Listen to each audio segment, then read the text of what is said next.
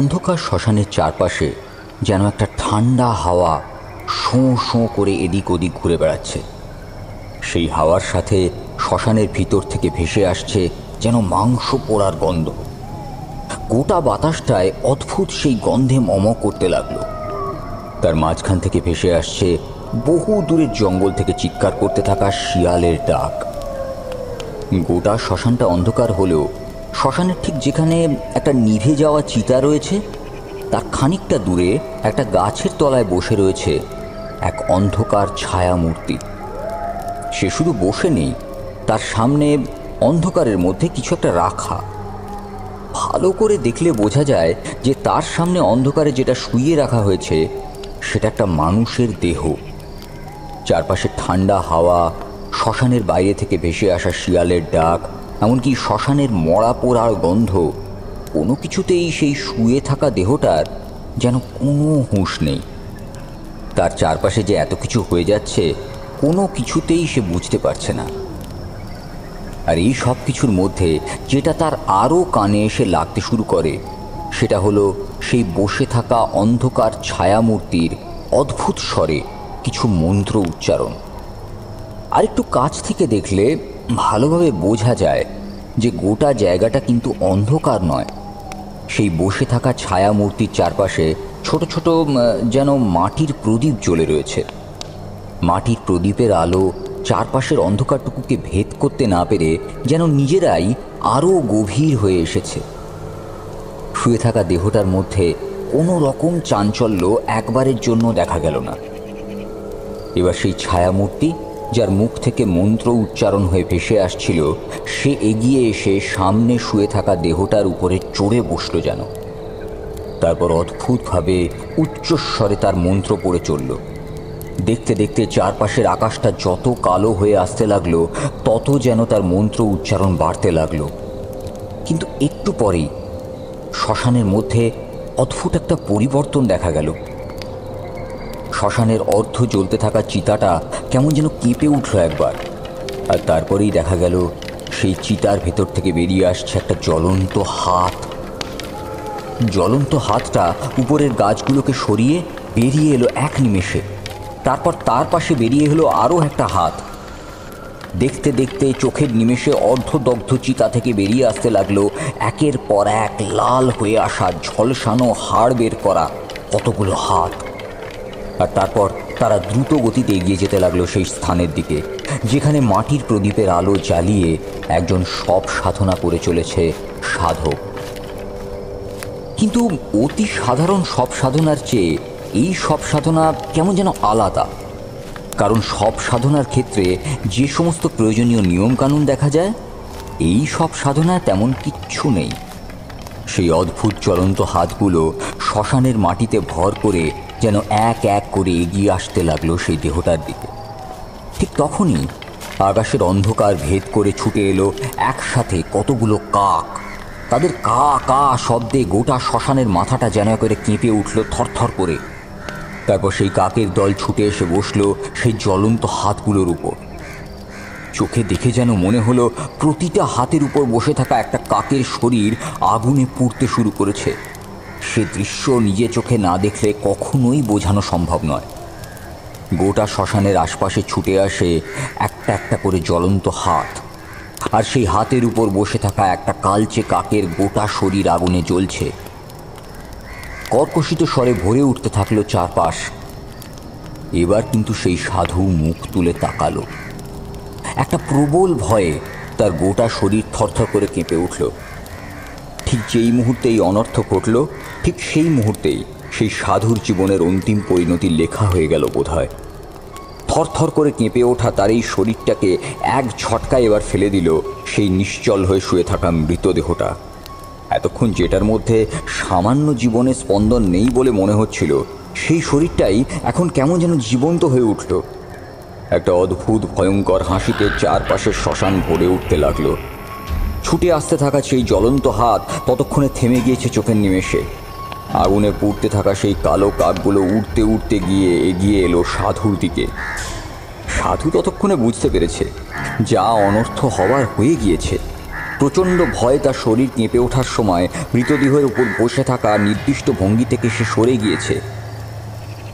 আর ঠিক সেই ফাঁকে এতক্ষণ ধরে নিশ্চল হয়ে পড়ে থাকা সবকে নিয়ে এসে ডাকিনী চক্রকে সে জাগিয়ে তুলতে চাইছিল। সেই ডাকিনী চক্র জেগে উঠেছে বটে। কিন্তু তার উপর নিয়ন্ত্রণ করার জন্য যে ডাকিনী চক্রকে জাগিয়েছিল, সেই ডাকিনী চক্র এখন নিজে থেকেই সক্রিয় হয়ে গেছে। সামান্য মুহূর্তের ভুলের জন্য সমস্ত ক্ষমতা তার হাত থেকে চলে গিয়েছে ডাকিনী চক্রের কাছে। এখন একটি মাত্র উপায় রয়েছে। ডাকিনী চক্রকে আবার বন্ধ করার। আর সেটা করার জন্য সেই মৃতদেহটার উপর থেকে উঠে পিছনের দিকে ছুটতে শুরু করল সেই সাধক। কারণ সেই প্রক্রিয়া করার জন্য প্রথমেই শ্মশানের বাইরে তো যেতে হবে। কিন্তু সেটা তার ভাগ্যে রইল না। মাত্র কয়েক পা ছুটে গিয়েছে। সেই সময় শ্মশানের মাটি থেকে বেরিয়ে আসা কয়েকটা হাত চেপে ধরলো তার পা। তারপরে লাশটা নিয়ে গিয়ে ফেলল মাটির কাছে। মাটির তলা থেকে উঠে আসা সেই জ্বলন্ত হাতটা সাধুর পা চেপে ধরতে সাধু ভয়ে বা চিৎকার করে উঠল। চিৎকার করে কোনো একটা গোপন মন্ত্র উচ্চারণ করার চেষ্টা করল বোধ হয় কিন্তু ততক্ষণে শ্মশানে জেগে উঠেছে ডাকিনী। আর সেই ডাকিনী চক্র সেখানে সক্রিয় থাকার সময় কোনো তন্ত্রক্রিয়া কাজ করবে না। হাতের টানে এমনিতেই মাটির উপরে মুখ থুবড়ে পড়ে গিয়েছিল সেই সাধু। শ্মশানের পাশে পড়ে থাকা হাড়ের টুকরো গিঁথে গিয়েছিল তার বুকের কাছে। কিন্তু যন্ত্রণাটাকে কোনোভাবে দুহাতে ঝেড়ে ফেলে আবার দৌড়ানোর চেষ্টা করল সে। তখনই সে দেখতে পেল বিভৎস সেই দৃশ্যটা। শ্মশানের মাথার উপর ঘুরতে থাকা যেন হাজার হাজার জ্বলন্ত কাক ছুটে আসছে তার দিকে। তাদের চিৎকারের শব্দে কান পাতা দেয়। সে দুটো হাত মুখের ওপর চেপে ধরে তার গুরুদেবকে স্মরণ করল বোধহয়। কিন্তু তার গুরুদেবের বোধহয় সেই মুহূর্তে তাকে বাঁচাবার মতো কোনো ক্ষমতা ছিল না। একটু আগে যে মৃতদেহটা উঠে বসেছিল শ্মশানের মাটির ওপর, সেই মৃতদেহটা এবার এগিয়ে আসতে লাগল তার দিকে। মৃতদেহের গোটা শরীরটা উলঙ্গ। তার পরনে এক টুকরো সুতো পর্যন্ত নেই। আর সেটা একটা নারীর শরীর। বড় কষ্ট করে সাধনা করে এই শরীরটাকে জোগাড় করে এনেছিল এই সাধু। কিন্তু সেই শরীর এখন তার কাছে ভয়ের কারণ হয়ে দাঁড়িয়েছে। সামনের দিকে তাকিয়ে সাধু চিৎকার করে বলল ভুল হয়ে গেছে আমার ভুল হয়ে গেছে। আমায় ক্ষমা করে দাও। সেই নারী মূর্তি ততক্ষণে হাঁটতে হাঁটতে সাধুর একদম কাছে এসে পড়েছে। কিন্তু এবার সাধু তার দিকে তাকিয়ে অবাক হয়ে গেল। একটু আগে যে মাটির প্রদীপগুলো চারপাশে সাজিয়ে রেখেছিল সেই সাধু, এখন সেই মাটির প্রদীপগুলোর মধ্যে একটা প্রদীপ, সেই উলঙ্গ নারী মূর্তির হাতে। আর সেই নারী মূর্তি প্রদীপটা হাতে নিয়ে আস্তে আস্তে এগিয়ে আসছে সাধুর দিকে। তার মুখের অদ্ভুত হাসিটা ভালোভাবে দেখা যায়। সেদিকে তাকিয়ে সাধু কেমন যেন চমকে উঠল। আর ঠিক তখনই বুঝতে পারল যে তার পা দুটো যেন মাটির তলায় কেউ টেনে ঢুকিয়ে নিচ্ছে। সাধু চেষ্টা করল নিজেকে আটকানোর। নিজের পায়ের উপর নিয়ন্ত্রণ খাটানোর, কিন্তু তার আগেই সে দেখতে পেল যে তার দুটো পা প্রায় হাঁটু পর্যন্ত মাটির তলায় ঢুকে গেছে। শুধু তার গোটা শরীরটা সামনের দিকে মাটির উপর পড়ে রয়েছে। অথচ দুটো পা ঢুকে গেছে মাটির তলায়। দুটো হাত দিয়ে কোনো রকমে উঁচু হওয়ার চেষ্টা করছে সেই সাধু। এবার সে দেখতে পেল, তার একদম সামনে এসে পড়েছে সেই নারী মূর্তি। আর সেই প্রদীপটা এখন ঠিক তার মুখের কাছে সাজিয়ে রেখেছে। গোটা শ্মশান জুড়ে যেন একটা ঝড় উঠল। এই ঝড়ের সাথে এক পাল কাক চিৎকার করতে করতে শ্মশানের মাথার উপর দিয়ে ছিটকে যেতে লাগল। গোটা শ্মশান যেন এক যুদ্ধক্ষেত্রে পরিবর্তিত হয়েছে। শব্দ করে আর চিৎকার করে হাসি কান্না ভেসে আসতে লাগল সেই শ্মশানের চারপাশ থেকে। সাধুর কানে যেন তালা ধরে গেল।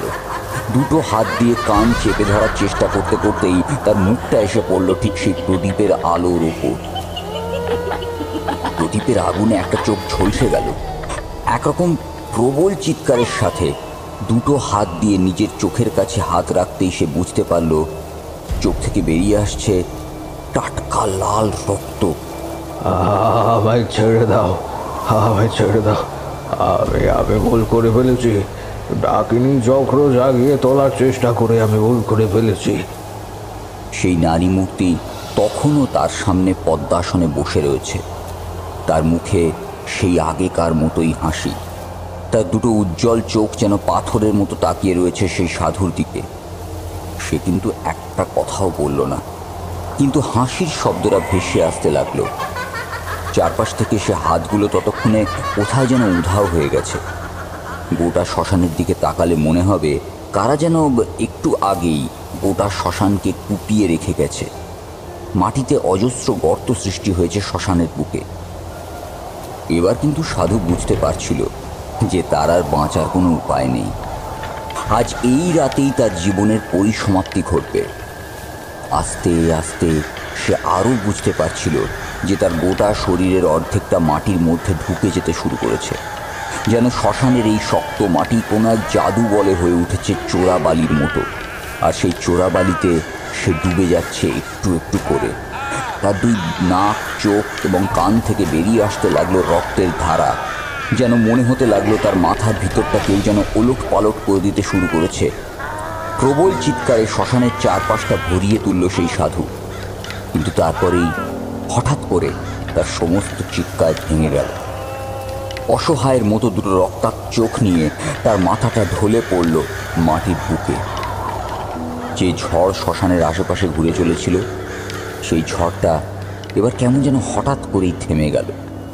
আর তার সাথেই কোথায় যেন হারিয়ে গেল সেই অজস্র চলন্ত কাক। অগ্নিময় হাড়ের হাত আর সেই উলঙ্গ নারী মূর্তি। গোটা শ্মশানে পড়ে রইল একটা নিভে আসা চিতা আর একটা সাধুর মৃতদেহ, যার গোটা শরীরের সামান্য কাপড়টুকুও নেই।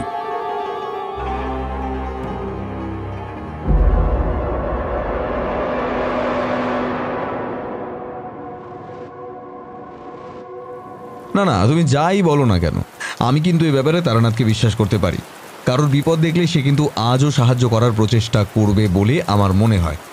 বটে, তোমার সে কথা এখনও সত্যি মনে হয়, কিন্তু আমার সে কথা মনে হয় না। একটা কথা ভেবে দেখো ঠাকুর মশাই আজ এত বছর হয়ে গেল তন্ত্র সাধনা, এমনকি তার সেই সাধনার জীবন থেকে এত দূরে। তাহলে এতদিন পরেও কি তার কাছে সেই আগের মতোই ক্ষমতার মনের জোর রয়েছে বলে তোমার মনে হয়? কিন্তু এখনও তো তারানাথের কাছে মাঝে মাঝে কেউ হাত দেখাতে কিংবা কুষ্টি বিচার করতে আসে। তাছাড়া তারাও যদি কোনো সমস্যায় পড়ে তখন তো তারানাথও সেসব সমস্যারও সমাধান করে। সে আর কত হয় সে তো অতি সামান্য। কিন্তু তারানাথ যখন গ্রামের পথে পথে ঘুরে বেড়াতো মনে করো সেই যে সাধনার সময় তখন তো ঠাকুরমশাই মাঝে মাঝে এমন অবস্থার মধ্যে গিয়ে পড়তো। যেখানে তাকে তার তন্ত্র শক্তির দ্বারা কিছু করতে হতো। তবে একটা কথা আমি কিন্তু বুঝতে পারি না, বুঝলে? ঠাকুরমশাই বলে, তার নাকি কোনো ক্ষমতা নেই। তাহলে সবসময় কি তারানাথকে মধুসুন্দরী দেবী কিংবা অন্য কোনো কেউ সাহায্য করে যেত? তারানাথ কিন্তু সবসময় বলে, আসলে যা হয় তার সব কিছুই আগে থেকে লেখা ছিল। তাতে তার যেমন কোনো হাত নেই, তেমন তার তন্ত্র শক্তির ক্ষমতারও কোনো হাত নেই। বিশেষ কিছু সময় তার ক্ষমতা প্রদর্শন হলেও বাকি সময় কিন্তু ভাগ্যের যা লিখন থাকতো, তাই হতো। আর তার সবচেয়ে বড় প্রমাণ হলো, তারানাথ কিন্তু সবসময় যে নিজের ক্ষমতা প্রদর্শন করে জিততে পেরেছে, তা কিন্তু নয়। মাঝে মাঝে তাকে হারতেও হয়েছে। সে যাই হোক ঠাকুর মশাইয়ের কাছে যেমন গল্প শোনা যায়, সেই আমেজ কিন্তু আর কারোর কাছে পাওয়া যায় না। আসলে গল্প সে যত সামান্যই হোক না কেন ঠাকুর মশাই এমনভাবে বলে যে মনে হয় সে ঘটনা আমরা নিজের চোখের সামনে দেখতে পাচ্ছি। কি বলো? আমি কিচ্ছু বললাম না। আমার কিছু বলার প্রয়োজনও ছিল না। কিশোরী যে সত্যি কথাই বলেছে তা আমি আর কিশোরী ছাড়া আর কেউ বোধহয় ভালো করে জানে না। সেই প্রথম দিন যখন কিশোরীর সঙ্গে তারানাথের এখানে গিয়েছিলাম, তারপর থেকে যতবার তার কাছে গিয়েছি, ততবারই একটা আশ্চর্য গল্প শুনেছি। হয়তো সে চরম কোনো বিপদের গল্প। না হয় অতি সাধারণ জীবনের এমন এক গল্প যা সাধারণ মানুষের গল্পের মতো নয়। আজ সকাল থেকেই কিন্তু বাইরে তীব্র বৃষ্টি হয়ে চলেছে। আমরা অনেকক্ষণ ধরে অপেক্ষা করছিলাম বৃষ্টি থামার। এক সময় কিশোরী উঠে গিয়ে দরজা খুলে বলল আর দাঁড়ানো যাবে না বুঝলে আর অপেক্ষা করলে বড্ড দেরি হয়ে যাবে। এই ছাতা নিয়ে বেরিয়ে পড়ি কি বলো? আমি কিশোরীর কথা শুনে দরজা দিয়ে বাইরের দিকে তাকালাম। দেখতে পেলাম বৃষ্টি কিন্তু আগের থেকে সামান্য কমে এসেছে। এমন বৃষ্টিতে ছাতা নিয়ে যাওয়াই যায়, কিন্তু তাহলে আর হেঁটে যাওয়া যাবে না। একে মাসের শেষ, তাই পকেটের অবস্থা গড়ের মাঠ। এমন সময় ট্রামে করে যেতে গেলে যে টাকা কড়ি খরচ হবে তা বড্ড বুকে বাজবে। মাসের প্রথম দিকে হলে তখন আমাদের বাবু আনা থাকে, তখন এসব কিচ্ছু মনে হয় না। তবে এখন কেমন যেন একটু দ্বিধাবোধ করছি দেখে কিশোরী বলল আরে আমি বুঝতে পেরেছি। আসলে তুমি কি সমস্যার কথা ভাবছ? ট্রামে যাওয়ার টাকা নিয়ে ভাবছ তো? আরে সে চিন্তা করতে হবে না। আমি রয়েছি তো। আর ঠাকুর মশাইয়ের জন্য এক প্যাকেট সিগারেট নিয়ে গেলেই তো হলো। সিগারেট থাকলে ঠাকুর মশাই আর কিছু মনে করবেন না। এই চলো চলো বেরিয়ে পড়ি। ছাতা নিয়ে আমরা বেরিয়ে পড়লাম একটু পরে। কিন্তু ততক্ষণে বৃষ্টি আরও কমে এলো। আমরা ট্রাম ধরে তারানাথের বাড়ি যাওয়ার জন্য মট লেনে এসে নামলাম যখন, তখন বৃষ্টি একদম কমে এসেছে। তাড়াতাড়ি তারানাথের বাড়িতে পৌঁছে দেখতে পেলাম, এই বৃষ্টির মধ্যেও কিন্তু তারানাথের একজন খদ্দের জুটেছে ব্যাপারটা দেখে কিন্তু একটু অবাক হলাম আর দেখতে পেলাম, তারানাথ তার সঙ্গে বেশ হাসতে হাসতে গলা তুলেই কথা বলছে। তারানাথ বলছে আর বলো না। সে সময় কি দিন ছিল? এখন তো সেসব কথা মনে পড়লে মনের ভেতরটা কেমন যেন হা হুতাশ করে ওঠে। তোমাদের গ্রামে যখন গিয়েছিলাম তখন, আরে আরে, তোমরা এসে পড়েছো? এসো এসো। এই বৃষ্টির মধ্যে তোমরা এলেটা কি করে? আর একটু পরেই তো বৃষ্টি কমে যেত। তখন না হয় বেরিয়ে পড়তে। আমি আর কিশোরী তাড়াতাড়ি তারানাথের দাওয়ার উপর দিয়ে উঠে পড়েছিলাম তার ঘরে। তারানাথের কথা শুনে তার পাশে বসে থাকা এই লোকটি আমাদের দিকে তাকালো। তার পোশাক দেখে নেহাত গ্রাম্য লোক বলেই মনে হয়, একটা ধুতি পরনে একটা সাদা রঙের পাতলা পতুয়া। সে আমাদের দিকে ঘুরে তাকিয়েছিল। মাথায় মাঝারি গরনের চুল, নাকের তলায় একটা মোটা গোপ। গালে খোঁচা খোঁচা দাড়ি। মুখটা কিন্তু বেশ সাধারণ আর পাঁচটা মানুষেরই মতো। তবে চোখ দুটো বেশ উজ্জ্বল। তারানাথের কাছে গল্প শুনতে শুনতে মানুষের এই সমস্ত বৈশিষ্ট্যগুলো আমরা প্রথমে লক্ষ্য করি। ছাতার একপাশে রেখে জুতো খুলে তক্তপোষে আমরা উঠে পড়েছিলাম। তক্ত তক্তপোষে বসে কিশোরী বলল, আপনি যখন সবটাই জানতেন, তাহলে এই বৃষ্টি কমে আসার ব্যাপারটা একটু এগিয়ে নিয়ে এলে হতো না? আমরা এখানে এসে পড়তাম তারপর না হয় বাকি বৃষ্টিটা হয়ে যেত। আপনার সঙ্গে যখন এতটাই প্রকৃতির নিবিড় সম্পর্ক তাহলে এটুকু আমাদের জন্য করতে পারলেন না। মাঝে মাঝে কিশোরীর এমন কথা শুনে তারানাথ কিন্তু বেশ চটে যায়। তবে আজ তেমনটা দেখলাম না। তারানাথ হাসি মুখে কিশোরীর কথার উত্তরে বলল তোমরা ওসব কথা ভালোভাবে বুঝবে না। প্রকৃতির সঙ্গে ছেলে খেলা করা সহজ ব্যাপার যে নয়। তাতে অনেক সময় বড় বিপদও হতে পারে। আচ্ছা তোমাদের সাথে আলাপ করিয়ে দিই। ইনি হলেন গোপাল রায়। আর গোপাল তোমাকে যাদের কথা বলেছিলাম এরাই তারা। তোমায় বলেছিলাম না এক্ষুনি এসে পড়বে ওরা। লোকটা সামান্য হেসে আমাদের দিকে তাকিয়ে বলল ঠাকুরমশাইয়ের কাছে আসার পর থেকে ঠাকুরমশাই কিন্তু আমাদের নিয়েই অর্ধেক কথা বলে ফেলেছেন। আপনারা এখনও আসছেন না দেখে ঠাকুরমশাই কিন্তু বেশ চিন্তিত হয়ে পড়েছিলেন। আমার মনে হচ্ছিল আরেকটু হলে তিনি হয়তো তিনি হয়তো এগিয়ে এগিয়ে আপনাদের আসার পথ দেখতে শুরু করবেন। তারানাথ কখনোই নিজেকে নিয়ে কথা বলা সেভাবে পছন্দ করে না। শুধু গল্প বলা বাদ দিয়ে। তাই তাড়াতাড়ি গোপাল নামে লোকটিকে থামিয়ে দিয়ে বলল আরে গোপাল ওসব কথা ছাড়ো তো। এই তোমরা বসো। বৃষ্টিতে তো বেশ ভিজে গেছো। ওই ওই দড়ি থেকে গামছাটা তুলে নাও। তারপর ভালো করে মাথা হাত মুছে বসো তো দেখি। হ্যাঁ নাহলে শরীর খারাপ হবে। তারানাথের কথায় আমরা হাত আর মাথা মুছে নিয়ে তক্তাপোষের এক পাশে বসে পড়লাম। তারানাথ বলে চলল এই যে গোপালকে দেখতে পাচ্ছ না এই গোপাল কিন্তু অনেক দূর থেকে এসেছে। আসলে শহরে সে তার চেনা একজনের কাছে এসেছিল। তারপর নেহাত ভাগ্যচক্রে আমার কাছে এসে পড়ে। আসলে বেশ কিছুদিন ধরে বাড়িতে একটা সমস্যা চলছিল।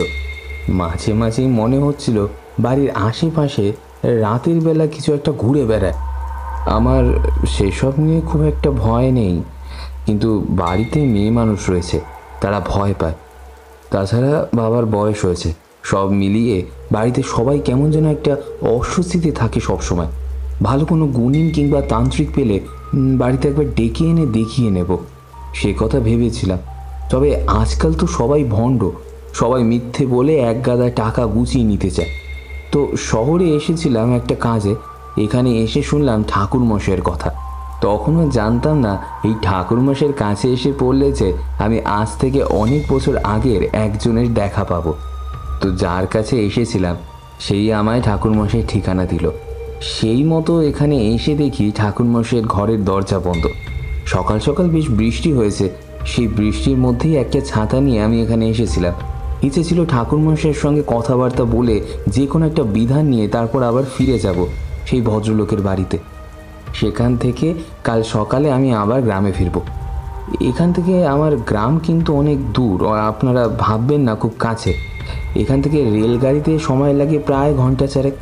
তারপর সেখান থেকে ধরতে হয় ভ্যান রিক্সা তারপর তাতেও আরও পাঁচটা ঘণ্টা লেগে যায়। তারপর সেখান থেকে হাঁটা পথ। সকালে বেরিয়ে বলে পৌঁছাতে পৌঁছাতে প্রায় সন্ধ্যা হয়ে যাবে। লোকটার কথা শেষ হতেই কিশোরী বলল, এত দূর থেকে আপনি শহরে এসেছিলেন, ভাবাই যায় না। আবার নেহাত একটু ব্যক্তিগত প্রশ্ন হয়ে যাচ্ছে তবুও আপনি ঠিক কি করতে শহরে এসেছিলেন? মানে যদি আপনার আপত্তি না থাকে, তাহলে যদি বলেন। না না, আপত্তি করার কিছু নেই। আসলে আমাদের ওদিক থেকে মাঝে মাঝে অনেকে শহরে আসে। শহরের কোথাও বলে তা সেখান থেকে দু একজন এখানে এসে থাকতেও শুরু করেছে। তাই ভাবলাম একবার শহর থেকে ঘুরেই যায় শহরে নাকি অনেক বড় বড় গাড়ি রাস্তা ভর্তি লোকজন, এদিক ওদিকে দোকানপাটে ছড়াছড়ি। আমাদের গ্রামে তো চারপাশে ধানের জমি আর ফাঁকা মাটির পথ ছাড়া আর তেমন দেখার কিছু নেই। শহরে শুনেছি দেখার মতন জিনিসের অভাব নেই। মানুষ থেকে শুরু করে বাড়ি, ঘর পর্যন্ত সব কিছুই নাকি দেখার মতো। তাই শহরে এসেছিলাম। তার সাথে মনে ইচ্ছে ছিল, শহরের দিকে যদি ভালো কোনো তান্ত্রিক কিংবা গুণিন পাই, তাহলে তার সাথে একবার দেখা করে যাব। তা যার কাছে এসেছিলাম, সে আজ প্রায় তিন বছর হলো শহরে রয়েছে। মাথা গোজার মতো একটা ঘরের ব্যবস্থা করে সে এখানে এসে উঠেছে। এই গোপালের সঙ্গে আমার সাক্ষাৎ হয়েছিল প্রায় দশ বছর আগে। তখন কিন্তু গোপালের যুবক বয়স। এখন তো আর খানিকটা বয়স হয়ে এসেছে। তখন বোধহয় গোপালের বয়স ছিল ওই আঠেরো কিংবা উনিশ। গোপালের বাবার সাথেই আমার প্রথম সাক্ষাৎটা হয়েছিল। তারপর গোপালের সাথে। তবে সেবার গোপালদের গ্রামে যে বিপদের সম্মুখীন হয়েছিলাম আমরা তা তোমাদের বলে বোঝাতে পারব না। তাই নাকি ঠাকুর মশাই তাহলে সেই গল্পটাই আজ আমাদের বলুন। এই বৃষ্টির দিনে তেমন একটা গল্প হলে বেশ ভালো জমবে কিন্তু। হ্যাঁ বলুন ঠাকুর মশাই। তবে তত্ত্ব কথা শোনাবেন না কিন্তু। আগেরবার তত্ত্ব কথা শোনাতে গিয়ে কিন্তু আমাদের অনেকটা দেরি হয়ে গিয়েছিল। আর বৃষ্টিতে ভিজতেও হয়েছিল। তাই নাকি? বৃষ্টিতে ভিজতে হয়েছিল? তাহলে সে তো ভারী দুঃখের কথা। আচ্ছা তোমরা বসো দেখি। তোমাদের গল্পটা বলি। এখানে একটা কথা বলে রাখা ভালো। আমি লক্ষ্য করেছি বাইরের কোনো লোকের সামনে তারানাথ কিন্তু সিগারেটের কথা একবারও বলে না। আসলে বেশ সে বোধহয় পছন্দ করে না বাইরের কেউ তার সিগারেট খাওয়ার ব্যাপারটা জানে এক্ষেত্রে কিন্তু তারানাথ তান্ত্রিক একটা নিয়ম বজায় রেখে চলে। এমনিতে সে কথায় কথায় বলে সে কোনো নিয়মের ধার ধারে না, অথচ এই ব্যাপারটা আমি দেখেছি। তবে প্রথম প্রথম যখন তার কাছে আসতাম, তখন বাইরের লোকের সামনে তাকে হুঁকো খেতে দেখেছি। সিগারেট খাওয়ার ব্যাপারটা সে সবার সামনে আনতে চায় না কেন, সেটা আমরা এখনও পর্যন্ত বুঝিনি। যাই হোক, আমরা গুছিয়ে বসলাম। তারানাথ গোপালের দিকে তাকিয়ে বলতে শুরু করল। প্রথম থেকেই বলি, বুঝলে? প্রথম কিন্তু আমি গোপালদের গ্রামে গিয়ে পড়িনি। গিয়েছিলাম সেই গ্রাম থেকে দুই গ্রাম পাশের একটা গ্রামে জঙ্গল মতো জায়গায়। সেখানে একটা বড় বট গাছ ছিল। সেই গাছটা যে আসলে কত বছরের পুরনো, সে কথা ভালোভাবে কেউই বলতে জানে না। সেই গাছের কাছে এক সাধু আশ্রয় নিয়েছিল। সেই সাধুর গল্পটা শুনেছিলাম আশেপাশের কয়েকজনের কাছ থেকে। সেই সাধু নাকি বেশ ক্ষমতাবান। কেউ তার কাছে কোনো বিপদে পড়লে বা সমস্যায় পড়ে গেলে সেই সাধু তাদের জল পোড়া দেন। এমন জল পোড়া, ধুলো পোড়া, এমনকি তাবিজ দেওয়ার চল যে সাধু সন্তদের মধ্যে রয়েছে, তা তো তোমরা ভালোভাবেই জানো। কিন্তু সেই সাধুর ক্ষেত্রে একটা কথা শুনে বড়ই আশ্চর্য হলাম। সেই সাধু নাকি কারোর কাছ থেকে একটা টাকাও নেন না। শুধু টাকা নয়, কেউ যদি তাকে খাদ্যবস্তু দিতে চায়, তাহলেও সাধু সেই খাদ্যবস্তু নিতে অস্বীকার করেন। কেউ খুব পিড়াপিড়ি করলে তখন সামান্য একটা ফল কিংবা এক টুকরো মিষ্টান্ন তাকে দিয়ে যেতে বলেন। তবে গ্রামের লোকেরা অনেকেই রেখেছে সেই সমস্ত ফল মিষ্টান্ন তিনি যতটা খান, তার চেয়ে বেশি খাইয়ে দেন ওই জঙ্গলের জায়গায় আশেপাশে এসে বসা পাখিদের। না হলে সেই সমস্ত খাবার জিনিস তুলে দেন তাদের হাতে, যারা ভালোভাবে খেতে পায় না। এই সমস্ত কথা শুনে সাধুর উপর বেশ ভক্তি হলো। কোনো মানুষকে না দেখে তার উপর ভক্তির উদ্রেক হওয়ার ব্যাপারটা তোমরা ভালোভাবে বুঝতে পারবে না। ওটা অনেকটা ওই ঈশ্বরের মতো কাউকে উপলব্ধি করার মতো ব্যাপার। তোমরা যাকে কখনো দেখোনি, তার একটা রূপ কল্পনা করে নিয়ে তোমরা তাকে বিশ্বাস করো, ভক্তি করো, মানো, পুজো করো। ঠিক তেমনই হলো আমার ক্ষেত্রেও। দুটো দিন হেঁটে আমি সেই গ্রামে গিয়ে পৌঁছাবার আগে আমার মনের মধ্যে যে কি উথাল পাথাল চলছিল তা আমি তোমাদের ভাষায় বলে বোঝাতে পারব না। বারবার সেই সাধুর একটা রূপ কল্পনা করে নেওয়ার আমি চেষ্টা করছিলাম। সাধু মানেই তো আর মাথায় লম্বা চুল হ্যাঁ তারপরে মাথার উপর জটা মুখের লম্বা দাড়ি, বুক পর্যন্ত নেমে আসা, তারপরে ওই লাল রঙের রক্তবর্ণ কাপড় তার পরনে, কোনো এক যোগকুণ্ডের সামনে ধ্যানে বসেছেন তিনি, কিংবা পদ্মাসনে বসে কিছু একটা গভীরভাবে চিন্তা করে চলেছেন। যাই হোক এইসব ভাবতে ভাবতেই দুদিন পর সকালবেলা সেই জঙ্গলে গিয়ে পড়তে প্রবলভাবেই হতাশ হলাম।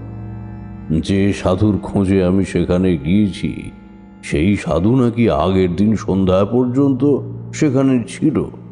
কিন্তু সেই রাত্রের মধ্যেই সে যে কোথায় চলে গিয়েছে, সেটা গ্রামের কেউ জানে না।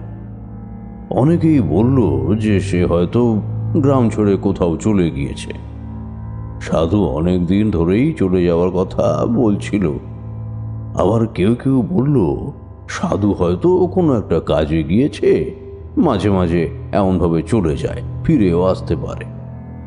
কিন্তু সেই ফিরে আসার মেয়াদ শুনে আমার মাথায় বাজ পড়ল। সাধু কখনো কখনো ফিরে আসে প্রায় তিন দিন পরে। আবার কখনো কখনো ফিরে আসেন প্রায় এক সপ্তাহ বা দু সপ্তাহ পরে। তবে তার ফিরে আসবার সময়ের কোনো নির্দিষ্ট নিয়ম নেই। আমি আর কি করি? হতাশ মনে সেখান থেকে চলে আসব ভাবছি।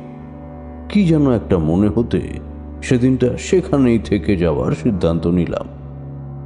এবার তোমরা যদি বলো সেই সাধু তিন দিনে করে ফিরে আসবে, তা সেটা জেনেও আমি সেখানে থাকার সিদ্ধান্ত কেন নিলাম? তাহলে তোমাদের সে কথা আমি ভালোভাবে বলতে পারব না।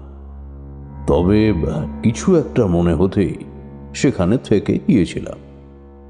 গোটা দিনের আলোয় সেখানে কাটিয়ে দেওয়ার পরে সন্ধ্যার দিকে পাশের এক গ্রামের বাড়িতে গিয়ে সামান্য জল আর খাবার চেয়ে খেয়েছিলাম। তারপর সন্ধ্যা পেরিয়ে যাওয়ার পরেও সেই গাছের তলাতেই বসে রইলাম। সেখানে বসে থাকতে থাকতে বোধহয় দুটো চোখ লেগে এসেছিল। রাতের বেলা হঠাৎ একটা শব্দে আমার ঘুমটা ভেঙে গেল।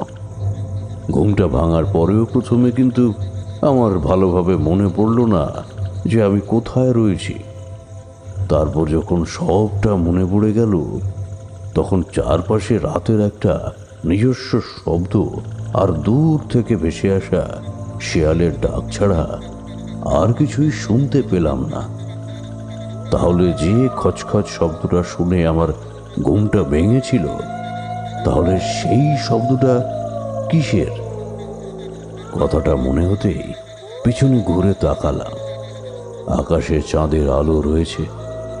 সেই চাঁদের অল্প আলোয় মাটির দিকে তাকাতেই দেখতে পেলাম, জঙ্গলের যেখানে শুকনো পাতা পড়ে জড়ো হয়েছে, ঠিক তার উপর দিয়ে খসখস শব্দটা হয়ে চলেছে। আর সেই শুকনো পাতার উপর দিয়ে আমার দিকে এগিয়ে আসছে কিছু একটা। ব্যাপারটা বুঝতে আমার অনেকটা সময় লেগেছিল। এই জঙ্গলের মধ্যে কোথা থেকে যেন একটা সাপ এসে পড়েছে। আর সেই রাতে অন্ধকারের সুযোগ নিয়ে সে আমার দিকেই ছুটে আসছে। কিন্তু এই চাঁদের অল্প আলোয় আধো অন্ধকারে। তাকে তো আমি ভালো করে দেখতেই পাচ্ছি না।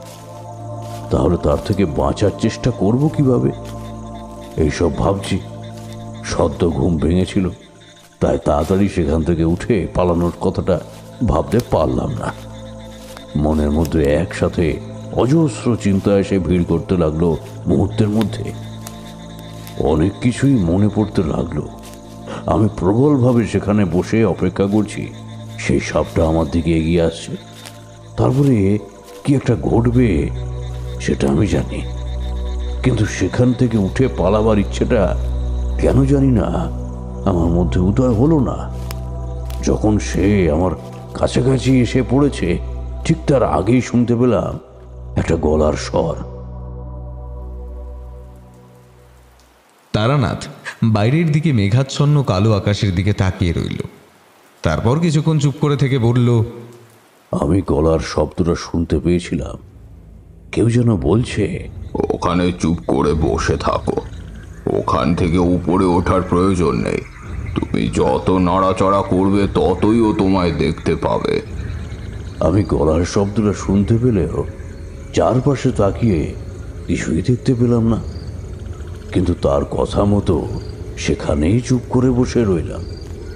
বুঝতে পারলাম, শুকনো পাতার উপর থেকে খসখস শব্দটা আমার থেকে কয়েক হাত দূরে চলে গেল। তারপর আস্তে আস্তে একটু দূরে বেরিয়ে যেতে লাগল। একটু পরেই সেই দিক থেকে একটা কালো ছায়ামূর্তি আমার দিকে হাঁটতে হাঁটতে এগিয়ে আসতে লাগল আর বলল, অনেকক্ষণ ধরে অপেক্ষা করছ, তাই না? আসলে একটা জরুরি কাজে আমায় যেতে হয়েছিল। খুব বেশি অপেক্ষা করতে হয়নি, একটা দিন। তখনও তার মুখ আমি ভালোভাবে দেখতে পাইনি। চাঁদের আলো তার গায়ে গিয়ে পড়লেও তাকে স্পষ্টভাবে দেখা যায় না। সে আরও খানিকটা হেঁটে আমার দিকে এগিয়ে এলো। একদম কাছাকাছি আসার পর তার মুখটা আমি দেখতে পেলাম। আর তার সাথে সাথেই হঠাৎ একটা অদ্ভুত ব্যাপার। আমার মনে হলো, সেটা তখনই মনে পড়ল না, কিন্তু কেমন যেন মনে হচ্ছিল, এই মুখটা যেন আমার বড্ড চেনা হ্যাঁ? সে আমার দিকে এগিয়ে এসে আমার থেকে কয়েক হাত দূরে শুকনো পাতার উপর বসে পড়ল। খসখস শব্দে সেটা বুঝতে পারলাম। সে আমার মতোই একেবারে মাটির উপর বসেছে। তারপর বলল তোমার জন্যই অপেক্ষা করছিলাম। তুমি এলে না দেখে সেই জরুরি কাজটা সেরে আসতে গেলাম। তবে তুমি যখন এসেই পড়েছো তখন আর অপেক্ষা করে লাভ নেই। কাল সকালে আমরা ওই গ্রামে চলে যাব। কে আপনি? আর আপনাকে এত চেনা বলে মনে হচ্ছে কেন আমার? আর আপনি আমার জন্য অপেক্ষা করছিলেন। কিন্তু কেন বলুন তো? সেই সব কথা তুমি এখন বুঝতে পারবে না। তবে এই কথাটা মনে রেখো, সমস্ত কিছু কিন্তু আগে থেকেই ঠিক করা রয়েছে। ভাগ্যের যে লিখনে তুমি বিশ্বাস করো, সেই লিখনে আমিও বিশ্বাস করি। থাকে সেই লিখনে, আজ এই রাতে তোমার সাথে আমার দেখা হওয়ার কথা ছিল। আর এখান থেকে আমাদের আরও এক জায়গায় যাওয়ার আছে। এই গোটা রাতটা আর শুধু শুধু কথা বলে নষ্ট করার লাভ নেই, বুঝলে? তুমি এক কাজ করো, তুমি একটু ঘুমিয়ে নাও, আমি পাহারায় রয়েছি। ও আর এদিকে আসবে না, ও আমার পোষা। সাধুর কথা শুনে আমি অবাক হয়ে গেলাম। সাধু যার কথা বলে চলেছে, আর সেটা যদি একটা সাপ হয়, তাহলে সে সব সাধুর পোষা। সাধুর মুখে একটা অদ্ভুত হাসি খেলে গেল।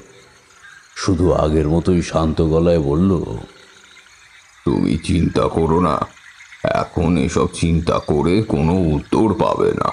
যখন সময় হবে তখন আমি নিজেই তোমায় সেই সমস্ত কথা বলব বুঝলে? এখন গাছে হেলান দিয়ে একটু শুয়ে পড়ো দেখি।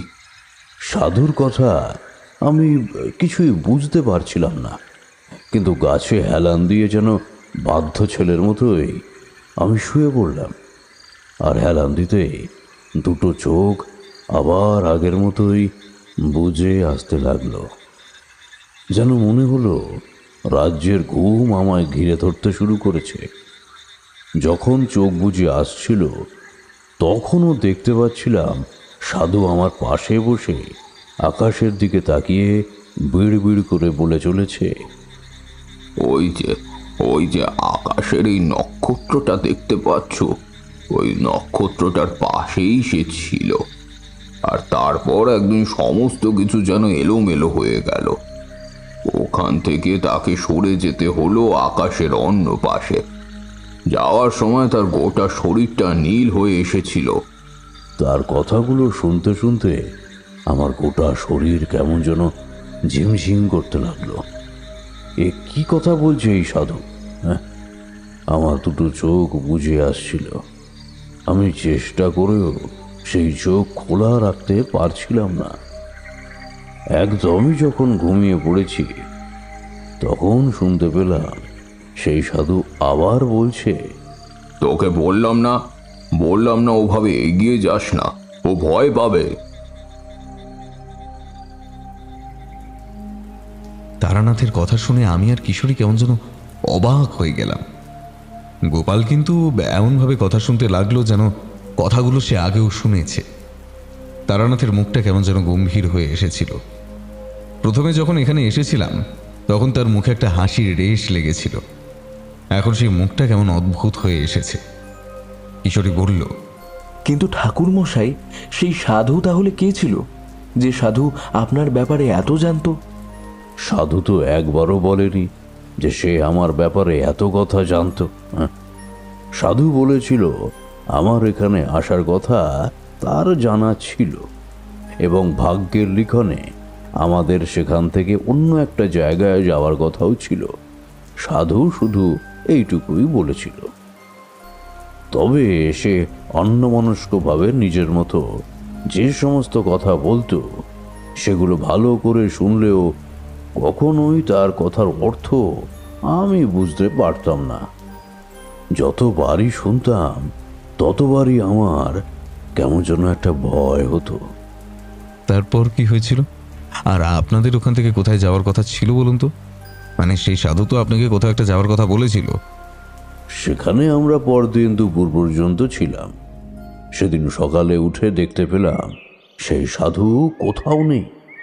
এদিক ওদিক খুঁজে চলেছি। গ্রামের পথে গিয়ে পড়ব এমন সময় সেই সাধুকে আবার দেখতে পেলাম। এই দিনের আলোতে তাকে ভালোভাবে এবার দেখা গেল। তার সৌম্য ক্রান্তি মুখ, মুখের দাড়ি জঙ্গল, মাথায় চুলের জটা, তার গায়ের রং একটু কালোর দিকে, তার উচ্চতা বেশ।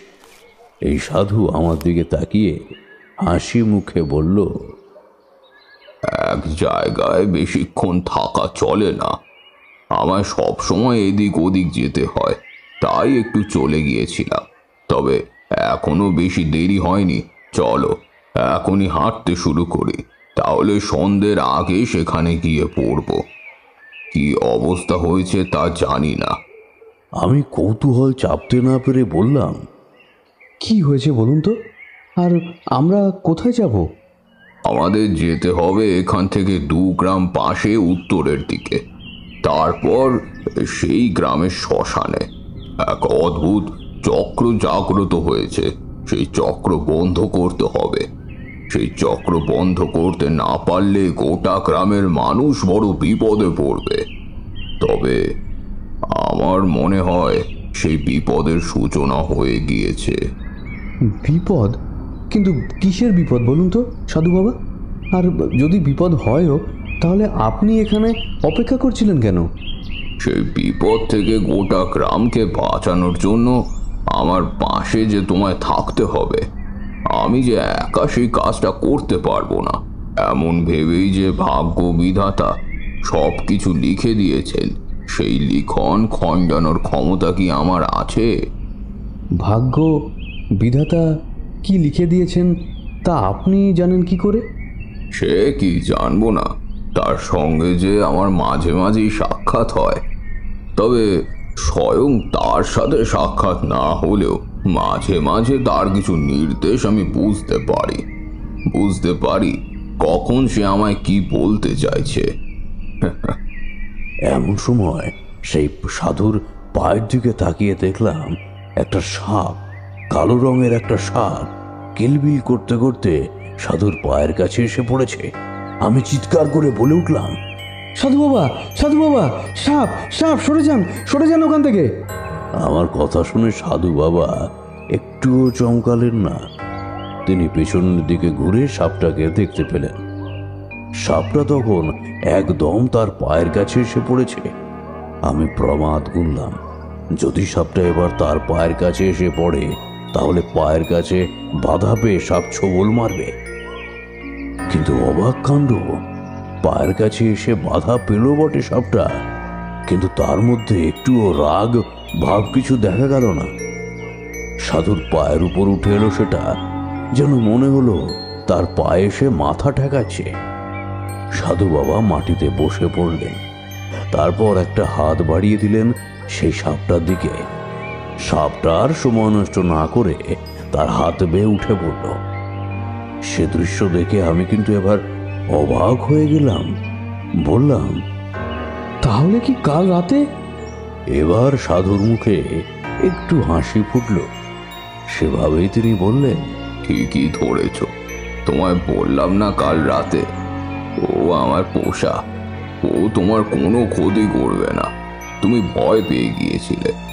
ওকে আমি বারণ করেছিলাম তোমার সাথে এমন মস্করা না করতে। কে শোনে কার কথা? বড্ড দুষ্টু হয়েছে। সাধুর কথা শুনে আমার মাথার ভেতর কেমন যেন করতে লাগল। মানে ওই তালগোল পাকিয়ে যেতে লাগল। আকাশের নক্ষত্র কবে কোথা থেকে কোথায় গিয়েছে, সেই সমস্ত কিছু সাধুর জানা। আমি যে এখানে কবে আসব এবং আমরা দুজনে মিলে দু গ্রাম উত্তর দিকে গিয়ে গ্রামের মানুষদের রক্ষা করব। সে কথা সাধু জানেন। এমনকি এমনকি ওই কালো রঙের বিষধর সাপটা পর্যন্ত সাধুর কাছে বস মানে। এই সাধু তাহলে কে? সেই প্রশ্নের উত্তরটা কিন্তু আমি পেলাম না। সেদিন দুপুরের দিকে সাধুর সাথে যাত্রা করলাম দুই গ্রাম উত্তরের দিকের পথে। কিন্তু আরও একটা ব্যাপার আমি দেখতে পেলাম। গ্রামের পথে যেতে যেতে অনেক সময় নাম না জানা পাখি উড়ে যায় মাথার উপর দিয়ে। এবার কিন্তু তারা আর মাথার উপর দিয়ে উড়ে গেল না। তারা উড়ে গেছে বসতে লাগল সাধুর কাঁধের উপর। যেন মনে হচ্ছিল অনেক দিন আগের চেনা কাউকে তারা খুঁজে পেয়েছে। এমন দৃশ্য কিন্তু এর আগে আমি কখনো দেখিনি। আমি গ্রামের পথে পথে বহু বছর ধরে ঘুরেছি তো, সাধু সঙ্গ করেছি, গ্রামের শ্মশানে রাত পর্যন্ত কাটিয়েছি।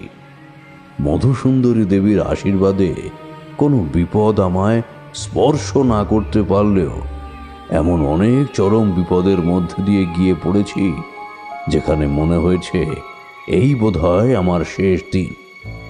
কিন্তু সেখান থেকে আমি ফিরে এসেছি। কিন্তু এই আজ দিনের আলোর মধ্যে যে মানুষটার সাথে আমি হেঁটে হেঁটে গ্রামের পথে ধরে চলেছি, সেই মানুষটার দিকে তাকিয়ে দেখতে আমার বিপদের ভয় হচ্ছিল। এ ভয় আর পাঁচটা সাধারণ বিপদের ভয় নয়। এ ভয় চরম মুহূর্তে মৃত্যুর ভয় নয়। এই ভয় এমন একটা ভয় যা বর্ণনা করার মতো ক্ষমতা আমার নেই। যতবার সেই সাধুর মুখের দিকে তাকাচ্ছিলাম, ততবার দেখতে পাচ্ছিলাম তার মুখে একটা শান্ত, সৌম্যকান্তি হাসি। তার গায়ের উপর এসে বসা পাখিটার নাম আমি নিজেও জানি না। একটা সাদা রঙের পাখি তার গায়ে মাথা থেকে লেজ পর্যন্ত কেমন কালচে রং। সাধু পরম যত্নে সেই পাখিটার মাথার উপর হাত বুলিয়ে চলেছেন। পাখিটার ঠোঁটের দিকটা ভালো করে লক্ষ্য করলে মনে হয় সে যেন নিজের ভাষায় সাধুকে কিছু একটা বলার চেষ্টা করছে। সাধুও যেন তার কথা বুঝতে পারছে। এমনভাবে মাঝে মাঝে মাথা নাড়ছে সে। আমি তার দিকে অবাক হয়ে তাকিয়ে আছি দেখে সাধু এবার বলল কি দেখছ বলো তো এভাবে? আসলে ওরা আমায় ভালোবাসে। আমিও ওদের একটু বোঝার চেষ্টা করি। তাও ওরা ওদের মনের কথা আমায় বলতে এসেছে। এর মধ্যে তুমি থেকো না বাবু, তুমি অন্যদিকে তাকাও। সাধুর কথায় এবার কিন্তু আমার বেশ হাসি পেল। আমি কোনো রকমে হাসিটা সামলে নিয়ে অন্যদিকে মুখ ঘুরিয়ে হাঁটতে লাগলাম। হাঁটতে হাঁটতে প্রায় বিকেলের দিকে আমরা গিয়ে পড়লাম উত্তরে দু গ্রাম পরে গোপালদের গ্রামে।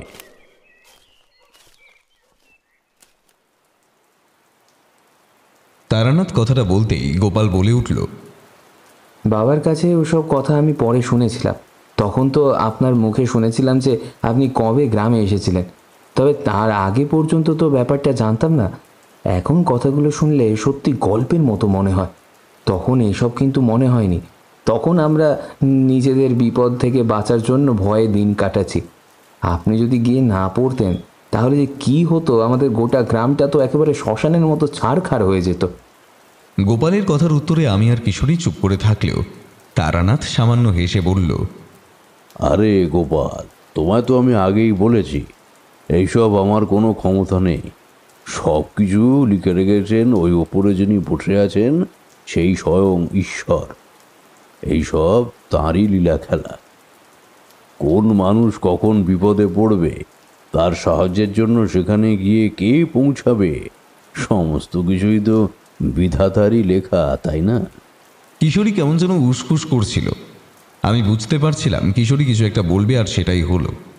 কিশোরী বলল সমস্ত কিছু যদি ওই ওপরের ঈশ্বরই লিখে রাখেন তাহলে তিনি মানুষের ভাগ্যে বিপদ লেখেন কেন? সমস্ত কিছু ভালো লিখলেই তো হতো। তাহলে আর এসব কারও সমস্যা হতো না। কিশোরীর কথায় তারানাথ অদ্ভুতভাবে হাসল। অবুজ বালক যখন এমন কোনো প্রশ্ন করে বসে যার কোনো ভিত্তি হয় না ঠিক সেইভাবেই তারপর শান্ত গলায় বলল তুমি কখনো অন্ধকার দেখেছ? ভালোভাবে অন্ধকারের দিকে বেশ কিছুক্ষণ তাকিয়ে থাকলে কিছু দেখতে পাও। মনে হয় না অন্ধকারটা যেন জীবন্ত হ্যাঁ? যেন এক্ষুনি সেই অন্ধকারের ভেতর থেকে কিছু একটা বাইরে বেরিয়ে আসতে শুরু করবে হ্যাঁ? ঠিক তেমনই আলোর দিকে একভাবে তাকিয়ে থাকলে মনে হয় না যে চোখের সামনেটা কেমন ঝাপসা অন্ধকার হয়ে আসে। আসলেই গোটা পৃথিবীটাই ওই আলো আর অন্ধকার নিয়ে চলেছে। এখানে আলোর যেমন গুরুত্ব রয়েছে, তেমনি আছে অন্ধকারেরও গুরুত্ব। অন্ধকারের মধ্যে আলো গিয়ে পড়লে চারপাশটা আলোকিত হয়ে যায় বটে, কিন্তু যেই আলো বন্ধ হয় তখনই কিন্তু থেকে যায় নিঃসীম অন্ধকার। তোমাদের এসব কথা বলতে বসলে তোমরা বলবে, তত্ত্ব কথা শোনাচ্ছি। আসলে সমস্ত কিছুই চলে একটা ভারসাম্যের উপর। শুভ কিংবা অশুভ, কোনো কিছুই একেবারে নিশ্চিন্ন হয়ে গেলে সেই গোটা দুনিয়াটা টিকে থাকতে পারবে না। দুজনকেই থাকতে হবে, কারণ এরা একে অপরের পরিপূরক। আর এই শুভ অশুভ দু ক্ষেত্রেই কিন্তু বিস্তর ফারাক রয়েছে। মনে করো, একটা পাত্রে তুমি জল রেখেছ, আর সেই পাত্রের মধ্যে একটা লম্বা দেখতে পাথর চাপিয়ে দিলে। তাহলে কি হলো? পাথরটা ঢাকার জন্য পাত্রের জল দু ভাগে ভাগ হয়ে গেল। অথচ দুটোই রইল একই জল। ঠাকুর মশাই তত্ত্ব কথা শুনতে কিন্তু সত্যিই ভালো লাগছে না। আপনি যে গল্পটা বলছিলেন সেটাই বলুন। আমি বুঝতে পেরেছি আলো আর অন্ধকার শুভ অশুভ দুটোই আমাদের প্রয়োজন। তারপর? এবার বোধহয় তারানাথ কেমন যেন সামান্য রুষ্ট হয়ে পড়ল। তাই গোপালের দিকে তাকিয়ে বলল তোমাদের গ্রামে সে সময় যে প্রচণ্ড উৎপাত শুরু হয়েছিল অশুভ শক্তির। সে কথাটা একবার বলো। গোপাল বলতে শুরু করল।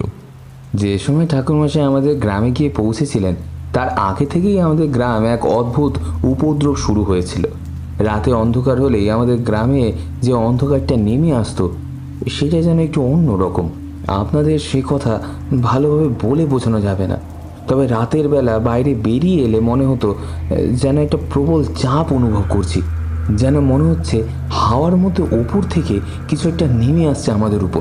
একটা অদ্ভুত ব্যাপার অনুভব করতে পারতাম আমরা। শুধু আমার ক্ষেত্রে কিংবা আমার পরিবারের ক্ষেত্রে নয়, গ্রামের সকলেই এমনটা অনুভব করতে পারতো। আর তারপর থেকেই শুরু হলো আরও বিভৎস ব্যাপারটা। গ্রামের পথে রাতের বেলা যদি ভুল করে কোনো মানুষ গিয়ে পড়তো, তাহলে পরদিন সকালে তার ছিন্ন ভিন্ন মৃতদেহ পাওয়া যেত। গ্রামের পথে কোথায় যে তার আস্ত মাথাটা পড়ে থাকবে আর কোথায় যে তার কাটা শরীরটা কিংবা হাতের টুকরো, তা কেউ বলতে পারে না। যেন মনে হতো রাতের অন্ধকারের মধ্যে প্রবল আক্রোশে কেউ তার গোটা শরীরটা ছিন্ন ভিন্ন করেছে। ক্রমে ব্যাপারটা এমন দাঁড়িয়েছিল যে আমরা ভয়ে ভয়ে রাতের বেলা বাড়ি থেকে বের হতে পারতাম না। ঠিক সেই সময় ঠাকুরমশাই আমাদের ওখানে গিয়ে পড়েছিলেন। এখানে একটা কথা তোমাদের বলে রাখা ভালো। গোপালদের গ্রামটা ছিল বেশ ছোট গ্রাম। সেখানে খুব বেশি ঘর বসতি ছিল না। গ্রামের শেষের দিকে একটা শ্মশান, গ্রামের বাকি দুদিকে ধানের জমি বহু দূর পর্যন্ত বিস্তৃত। আর অন্য পাশটা, অর্থাৎ যেদিক থেকে আমরা গ্রামে এসে ঢুকেছিলাম, সেখানে ছিল শ্মশান। তো ওই গ্রামের সেই শ্মশানে এমন কিছু একটা হয়েছিল যেটা অতি স্বাভাবিক ছিল না। আমি আর সাধু যেদিন সেই গ্রামের চৌহতিতে পা রাখার আগের মুহূর্তে সাধু মশাই থমকে দাঁড়িয়েছিল। বাতাসে কিসের যেন একটা লক্ষণ অনুভব করার চেষ্টা করছিল। তোমরা কখনো দেখেছ কেউ বাতাস ছুঁয়ে দেখার চেষ্টা করছে? আমি দেখেছি। আমি সেই সাধু বাবাকে দেখেছি এক হাতে বাতাস ছুঁয়ে দেখার চেষ্টা করতে। যেন একটা হাত বাতাসের দিকে তুলে রেখে চোখ বন্ধ করে কিছু একটা অনুভব করার চেষ্টা করছে। তার একটু পরেই কেমন ম্লান গলায় আমার দিকে তাকিয়ে বলল বুঝলে বিপদটা কিন্তু বেশ বেড়েছে মনে হয়। আমাদের আসতে সামান্য দেরি হয়ে গেল। আমি অবাক হয়ে তার দিকে তাকিয়েছিলাম। এর মধ্যে এই সাধু এই গ্রামে একবারও আসেনি। অন্তত আমায় তো সেই কথাই বলেছে। আর সেই সাধু বাবা যে আমায় মিথ্যা কথা বলবে, তা আমার বিশ্বাস হয় না। তাহলে সে জানতে পারল কি করে যে এখানে বিপদ ঘটে গেছে। এর মধ্যে অবাক হলেও সাধুর সাথে সেই গ্রামের মধ্যে আমি পা চালিয়েছিলাম। কিন্তু সেই গ্রামে গিয়ে প্রথম দিনে যে ব্যাপারটার সম্মুখীন নামায় হতে হয়েছিল, সেটার জন্য কিন্তু আমি কখনোই প্রস্তুত ছিলাম না। এমনকি সেই সাধু বাবা যে গোটা ব্যাপারটা ভালোভাবে বুঝতে পেরেছিল, তা আমার কখনো মনে হয়নি। একটা ব্যাপার কিন্তু তখনই লক্ষ্য করলাম। গ্রামের ভেতরে গিয়ে ঢুকতেই বুঝতে পেরেছিলাম, গ্রামে কিছু একটা হয়েছে। এত অদ্ভুত ভারী ভাব ছড়িয়েছিল সেই গোটা গ্রামের চারপাশে যে তোমাদের কি বলব। আমরা সেখানে গিয়ে পড়েছিলাম ওই প্রায় বিকেলের দিকে। গ্রামের দিকে বিকেল পেরিয়ে সন্ধ্যা থাকে সামান্য সময় অবধি। তারপরে নেমে আসে রাত। তবে সেই বিকেল পেরিয়ে সন্ধ্যার মুহূর্তে যেন গোটা শ্মশানটা কেমন ফাঁকা হয়ে এসেছিল। যেদিকে তাকায় সেদিকের বাড়িতে দরজা বন্ধ। যেন মনে হচ্ছিল কোনো একটা শ্মশানে আমরা এসে পড়েছি। এখানে বাড়িঘর রয়েছে বটে, কিন্তু কোথাও কোনো মানুষজন নেই। সাধু বাবাকে সে কথা বলতে তিনি বললেন, এমনটা তো হওয়ার কথা নয়। এই গ্রামে মানুষ যে থাকতেই হবে, তাহলে তো হিসেব কিছুতেই মিলছে না। চলো তো এবার গ্রামের শ্মশানের কাছে গিয়ে দেখি। আমরা হাঁটতে হাঁটতে গোটা গ্রাম পেরিয়ে শ্মশানের কাছে এসে পড়লাম। গোটা গ্রামের মধ্যে দিয়ে এগিয়ে যেতে যেতে একটা ব্যাপার বুঝতে পেরেছিলাম। এই গ্রামের সোজা রাস্তার আশেপাশে যে কয়টা বাড়ি ঘর রয়েছে, সেখানে মানুষ আছে বটে। কিন্তু কোনো একটা অদ্ভুত কারণে বিকেলের সেই শেষ লগ্নে তারা দরজা বন্ধ করে ঘরের ভেতরেই বসে রয়েছে। কিন্তু তাদের কথার শব্দ মাঝে মাঝেই শোনা যেতে লাগল অবশ্য। তবে সাধু তাদের ডাকার চেষ্টা একবারও করেনি। তাই দেখে আমিও আর সে চেষ্টা করিনি।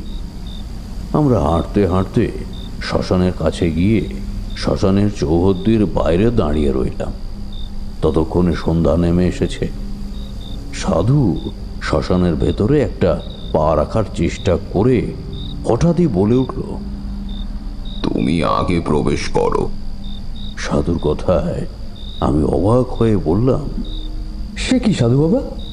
আমি আগে প্রবেশ করব কেন? আপনি তো আমায় এখানে নিয়ে এলেন। এই গোটা গ্রাম যেন শ্মশানপুরীর মতো হয়ে আছে।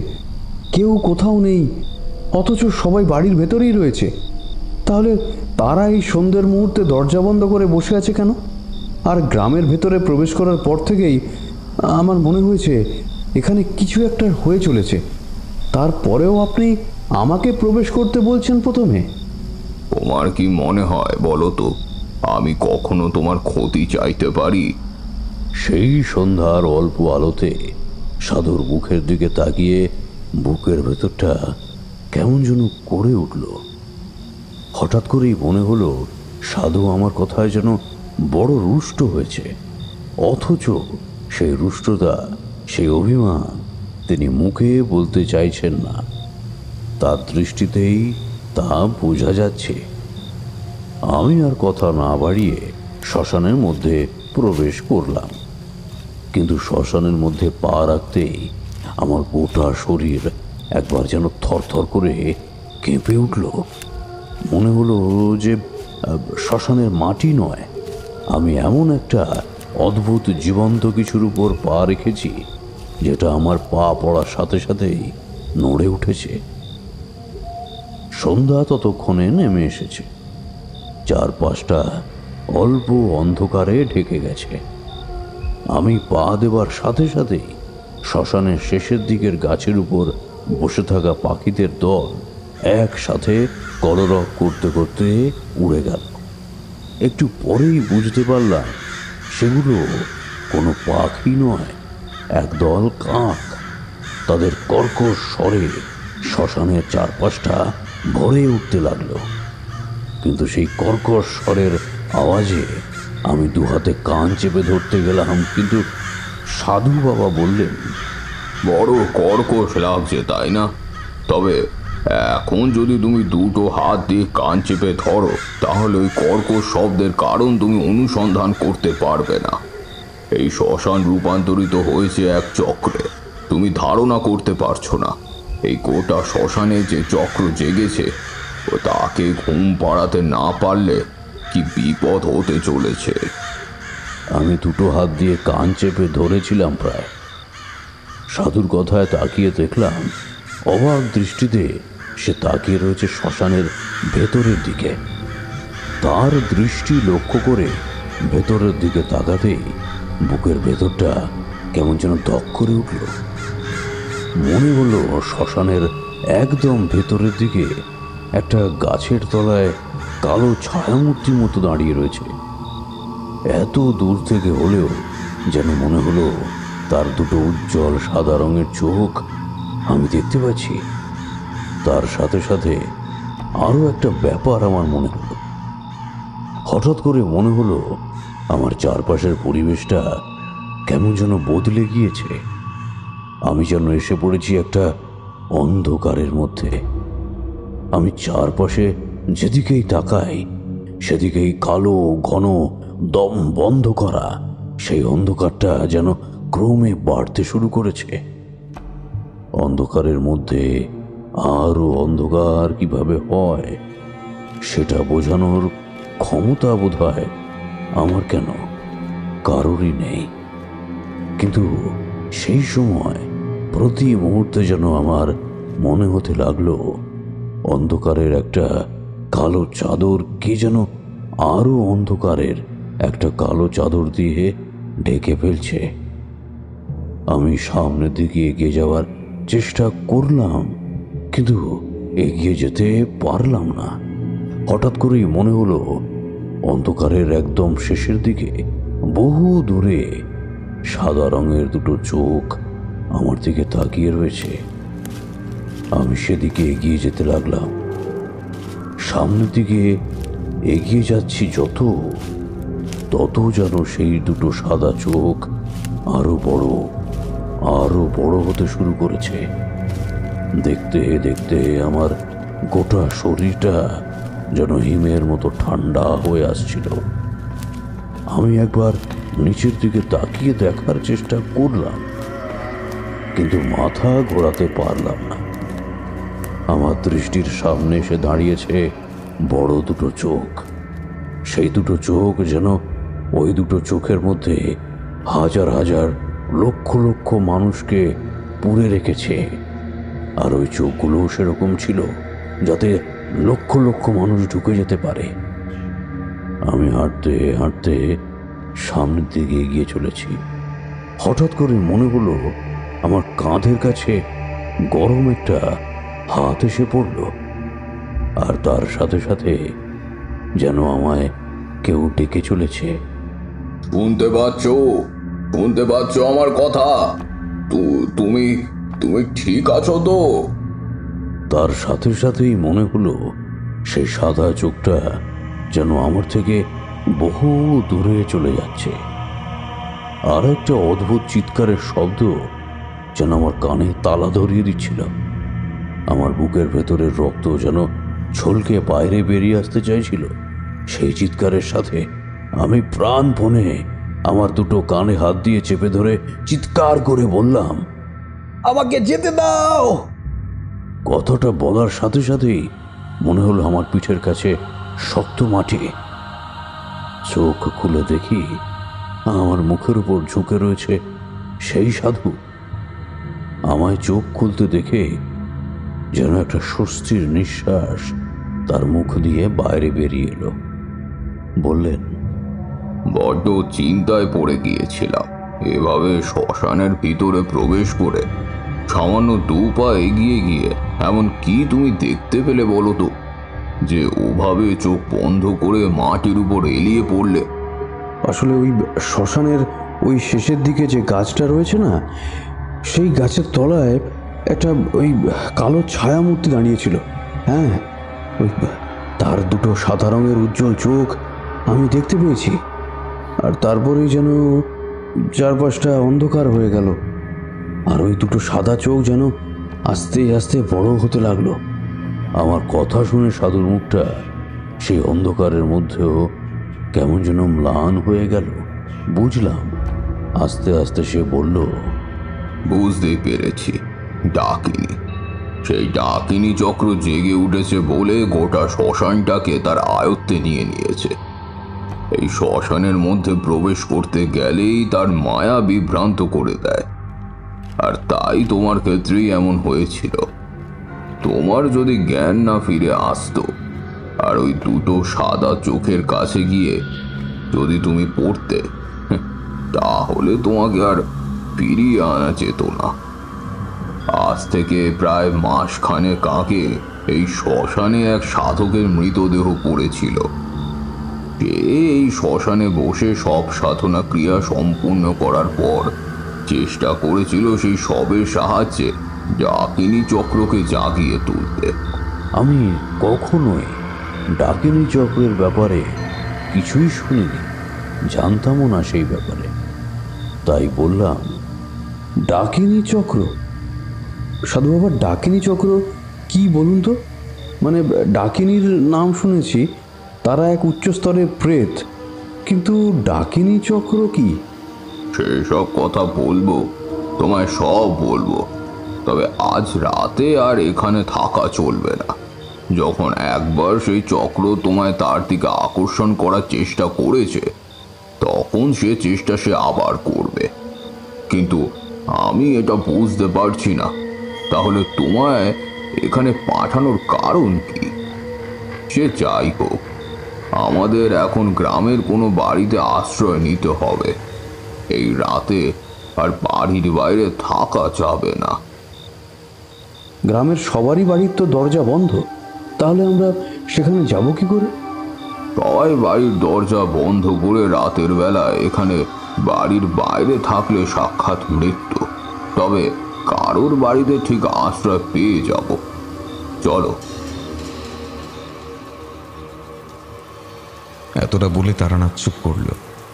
তারপর বলল সেদিন আমরা গোপালের বাড়িতে গিয়েই আশ্রয় নিয়েছিলাম। গোপালের বাড়ির দরজায় গিয়ে ধাক্কা দিতে গোপালের বাবা একটু ইতস্তত করে দরজা খুলে আমাদের দেখতে পেয়ে অবাক হয়েছিলেন। সাধু সমস্ত কথাই তাকে বুঝিয়ে দিতে সেদিনের মতো সে বাড়িতে আমরা আশ্রয় পেয়েছিলাম বটে। কিন্তু তারপরেই জানতে পেরেছিলাম, একটা মর্মান্তিক কথা। তারানাথ কথাটা বলতে পারল না। বোধহয় চুপ করল। গোপাল নিজেই শান্ত স্বরে থেমে থেমে বলল, তখন আমার বাবা মা ছাড়াও আমার এক বোন ছিল। সে আমার থেকে প্রায় দশ বছরের ছোট। আমার সেই বোন তার আগের দিন রাতের বেলা কোনো একটা কারণে ঘর থেকে বেরিয়েছিল। সেদিন রাতে সে আর বাড়ি ফেরেনি। যেদিন রাতে ঠাকুর মশাই আমাদের বাড়িতে আশ্রয় নিয়েছিল, সেদিন সকলেই তার মৃতদেহ পেয়েছিলাম গ্রামের পথে তার মাথাটা পড়েছিল। আমাদের আমাদের বাড়ির দরজার ঠিক কাছে। তার দুটো চোখ যেন উপর হয়ে ভয়ে বাইরে বেরিয়ে আসতে চেয়েছিল। প্রায় বছর দশের আগের কথা। কিন্তু সেই সমস্ত কথা কেন এখনও আগের মতোই মনে আছে? সেদিন রাতেই আমরা সমস্ত কথা বলেছিলাম ঠাকুর মশাই আর ওই সাধু বাবাকে। সেদিন রাতে সাধু বাবা আমাদের কথা শুনে বলেছিলেন, তোমায় আর কোনো চিন্তা নেই। তোমাদের এই বিপদ কাটানোর জন্য আমরা এখানে এসেছি। তবে আর কয়েকটা দিন তোমাদের একটু সাবধানে থাকতে হবে। তারপরেই সব সমস্যা মিটে যাবে। যে ডাকিনী চক্র ওই সাধক ভুল করে ওই শ্মশানে জাগ্রত করেছে, সেই চক্র আমরাই বন্ধ করব। অন্ধকার ঘরে হ্যারিকেনের আলোয় আমি সেই সাধু গোপালের বাবা গোপালের মা গোপাল চুপ করে বসেছিলাম। ঘরের জানালার ফাঁক দিয়ে ঠান্ডা হাওয়া ভেতরে এসে পড়ছিল। হ্যারিগানের আলোটা তীর তীর করে কাঁপছিল। সেখানে বসে সাধু বাবা গম্ভীর গলায় বললেন, আজ থেকে সাত দিন পরে এই চক্র বন্ধ হবে। কিন্তু সেই চক্র বন্ধ করার জন্য দিতে হবে চরম প্রতিদান।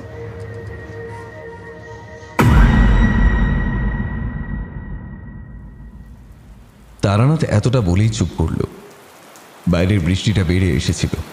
তাই তারানাথ উঠতে উঠতে বলল একটা কাজ করো বুঝলে? বৃষ্টি জোরে এসেছে। তোমরা বরং ঘরে এসো ঘরে এসে বসো। তারপর তোমাদের বাকি গল্পটুকু বলছি। গোপাল তুমিও এসো। বৃষ্টি কমলে তারপর না হয় বেরিও হ্যাঁ? এখান থেকে যেতে তোমাদের খুব একটা সময় লাগবে না। এসো। আমরা তাড়াতাড়ি উঠে তারানাথের ঘরের ভেতরে ঢুকলাম। ঠিক তখনই বৃষ্টিটা যেন ঝমঝমিয়ে এসে নামলো।